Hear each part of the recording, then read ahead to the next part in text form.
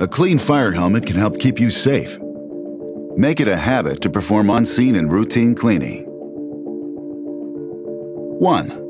Always wear the proper PPE, including gloves and eye protection, when cleaning a fire helmet. Before leaving the scene, hose, brush, or wipe away the large gross contaminants.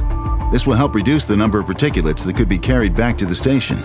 Next, inspect the helmet for impact, thermal, or general damage per the user manual. 2. Before cleaning the shell of your helmet, remove the eye protection, hardware, and soft goods. Wash your shell using a soft sponge or cloth dampened with a solution of warm water and mild detergent. The utility sink is typically used for routine cleaning. What about those soft goods? Exchange and place the soiled soft goods in the mesh bag provided in the MSA Soft Good Replacement Kit. Machine wash and dry on low settings. 3. Once your helmet has been through the cleaning process, inspect again. If it's not clean, repeat step 2. 4. Dry your helmet in an area with adequate ventilation. Avoid direct sunlight and never machine dry. 5. Store your helmet in a dry, well-ventilated area.